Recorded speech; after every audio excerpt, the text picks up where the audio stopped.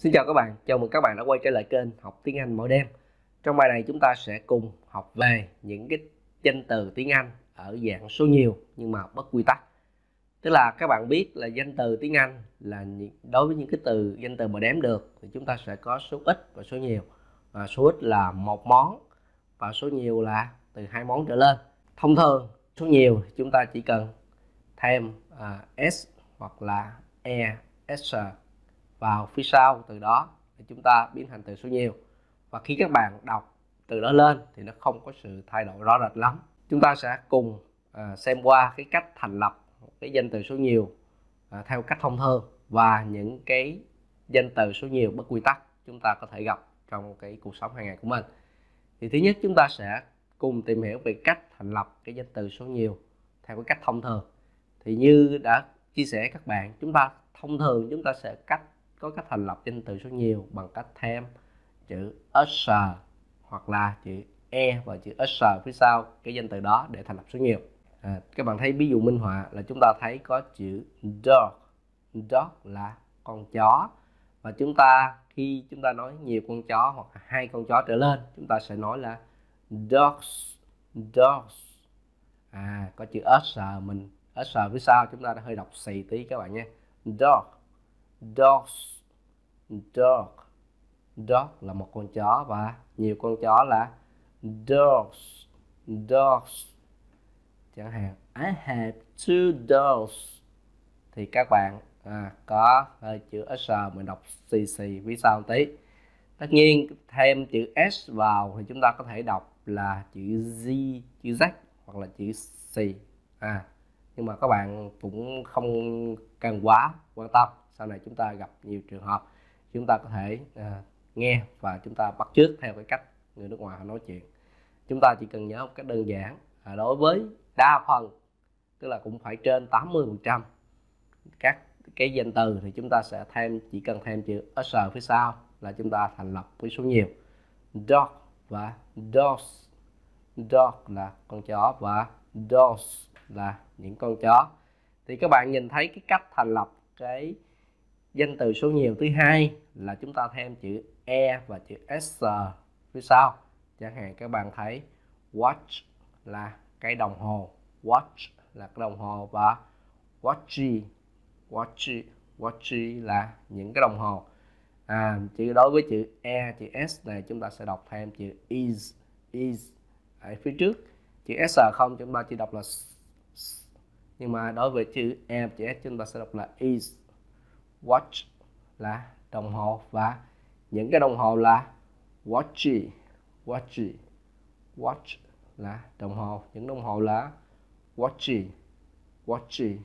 Chúng ta để ý là cái chữ e chữ s này chỉ được thành lập khi tận cùng của cái danh từ đó. Nó sẽ viết là chữ ch hoặc là chữ sr chữ s chữ x và chữ z s x và z khi chúng ta gặp những cái danh từ mà à, kết thúc tức là những cái chữ cái kết thúc bằng chữ s h à, ch s x và z thì chúng ta sẽ tự động chúng ta thêm es vào.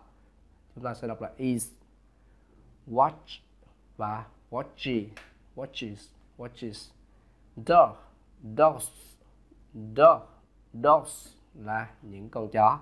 Đó là cái cách thành lập cái danh từ số nhiều một cách thông thường. Là chúng ta thêm s hoặc là es vào phía sau của danh từ đó. Chúng ta sẽ đi học qua khoảng 7 cái từ vựng về những cái danh từ số nhiều mà bất quy tắc. Tức là khi thành lập danh từ số nhiều này họ sẽ không theo quy tắc nào hết. À, tức là chúng ta sẽ phải học thuộc lòng thôi.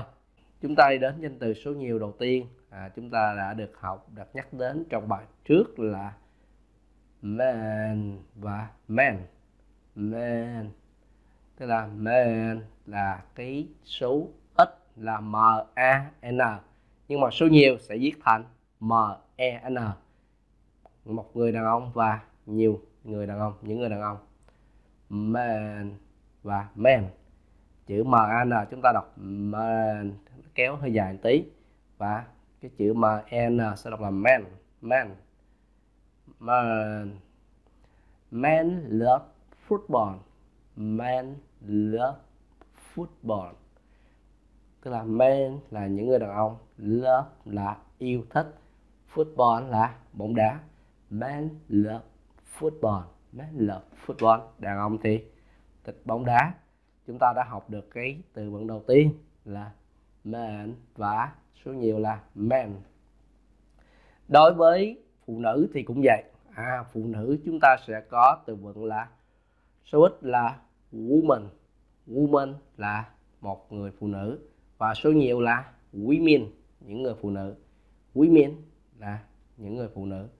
Women à, chúng ta sẽ đọc khác hoàn toàn so với chữ woman mặc dù là viết nó chỉ khác, cái chữ là chữ a và chữ e woman là số ít và women là số nhiều. I need a woman, hoặc là I need two women.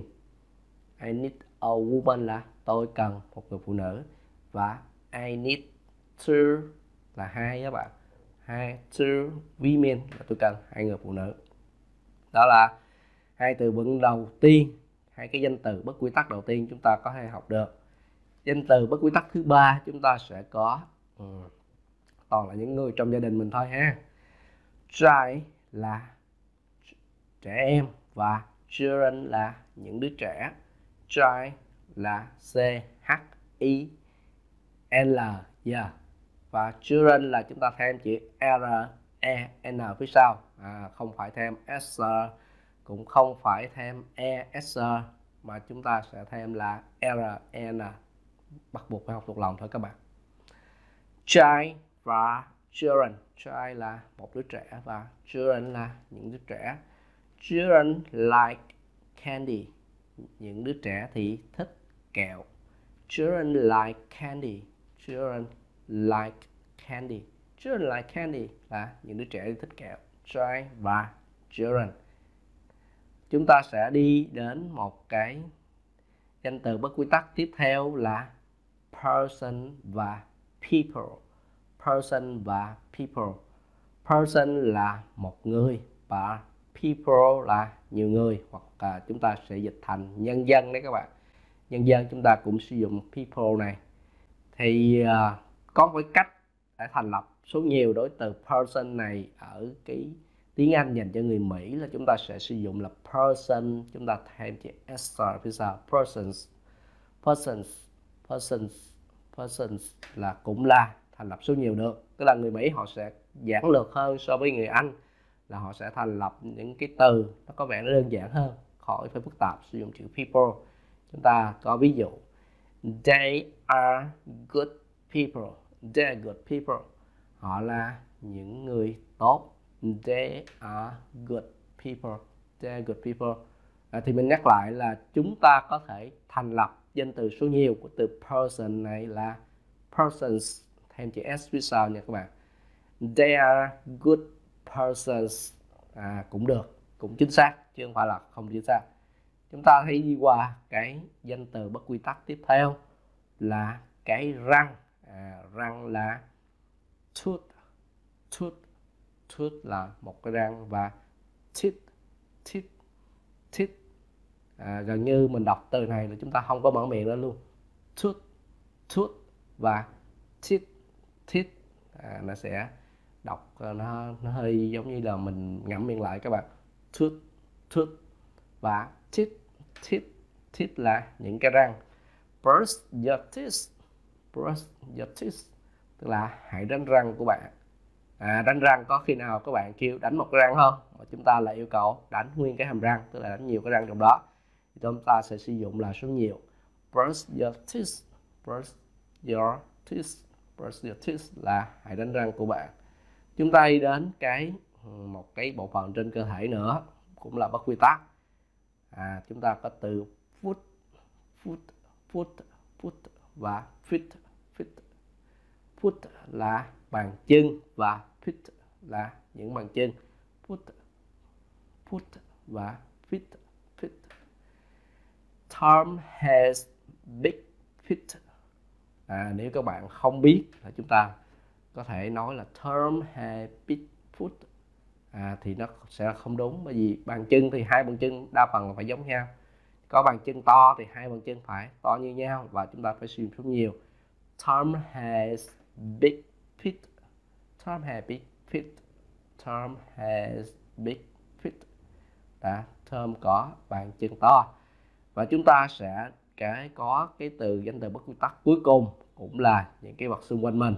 Đó là con vật. Đó là con chuột là chúng ta có. Mouse là con chuột suốt và số nhiều là my my mouse mouse là con chuột suốt à, m o u s s e và con chuột số nhiều là my my mouse và my cat kill through my cat là con mèo kill là cắn là giết. Through là số 2 my là có hai con chuột là con chuột những con chuột gọi. Cat kill through my cat kill to, my tức là mouse và my. Chúng ta đã học xong những cái cách thành lập cái danh từ kể cả có quy tắc lẫn bất quy tắc mời các bạn cùng ôn lại. À, chúng ta có danh từ mà có quy tắc là chúng ta sẽ sử dụng là thêm s hoặc là es phía sau danh từ có quy tắc đó dog và dogs hoặc là watch. Watches là có quy tắc và danh từ bất quy tắc ừ, một người đàn ông là man và những người đàn ông là men phụ nữ, woman so với women. Và cái răng, tooth và teeth. Con chuột là gì các bạn? Mouse và my. À những cái từ này chúng ta không cách nào khác mà học thuộc lòng thôi tất nhiên cũng sẽ còn một số cái danh từ số nhiều bất quy tắc khác. À, các bạn hãy nghiên cứu thêm. À, chúng ta chỉ học những cái đồng danh từ à, phổ biến nhất. Cảm ơn các bạn đã chú ý theo dõi. Hẹn gặp lại các bạn ở những bài học tiếp theo. Các bạn hãy bấm đăng ký nếu để theo dõi những bài học tiếp theo nhé. Xin cảm ơn.